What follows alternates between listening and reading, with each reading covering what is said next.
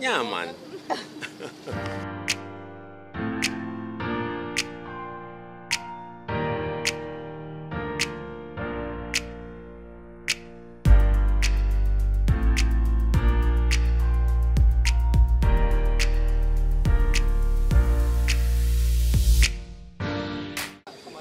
Apa?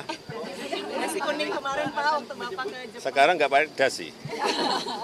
Tapi menyebut Bapak nyaman. Nyaman katanya Pak. Sekarang nggak pakai dasi. Ya Pak, terima kasih. Ya?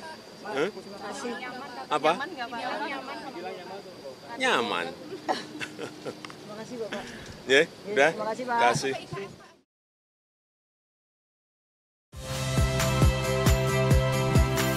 Saya Tifa Solesa.